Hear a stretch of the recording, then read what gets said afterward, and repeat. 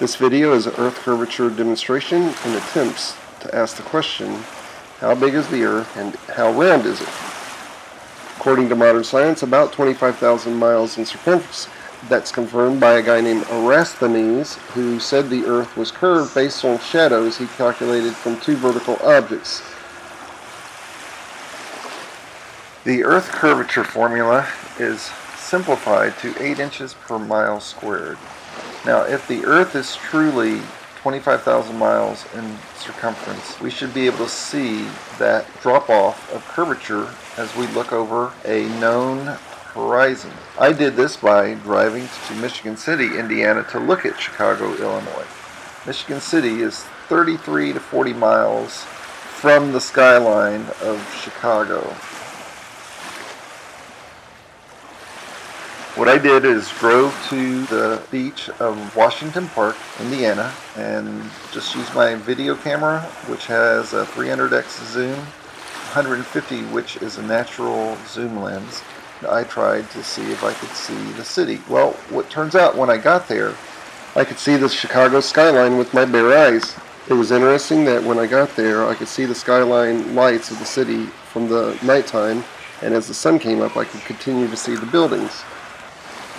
Doing the math, 8 inches times 38 miles squared divided by 12 inches per feet, we get 963 feet of skyline, which should be below the horizon. I've attached a quick reference table that shows you hidden feet per mile. This calculation seems to be pretty consistent with everything else I've found on the internet. Please comment if you think my formula or this spreadsheet table is incorrect.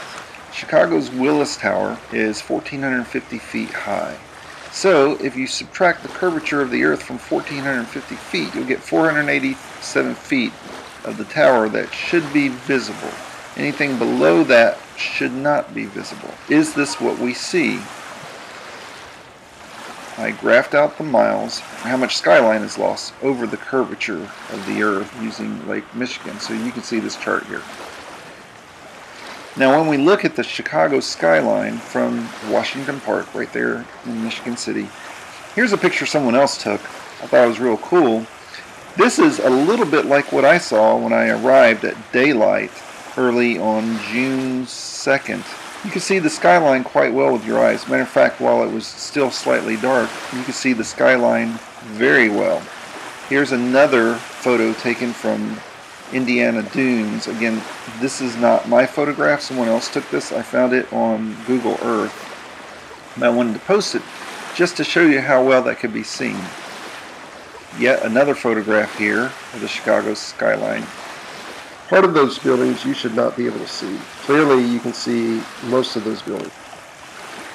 Below that white line you should not be able to see any buildings, but in fact you can. If the Earth has a 25,000 mile circumference, then how come those buildings aren't hidden behind the curve? 487 feet above the line should be all that's visible, but in fact, we can see much more than that. This is my video that I took at daylight. The haze is somewhat because of the early morning haze of the water. Plus, the camera I have wasn't very good quality. It's an old camera, it's not HD, but you can see there are buildings in the horizon that you can see just fine.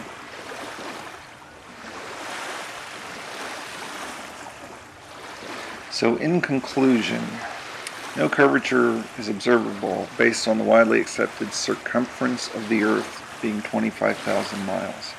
Either the Earth is larger, a larger sphere than described, or the Earth is not a sphere and is flat.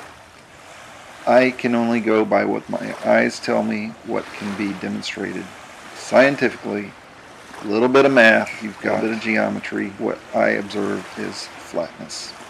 I'm open to correction, and please correct anything that you think I've said is wrong. Believe me, I don't want to believe that the earth is flat.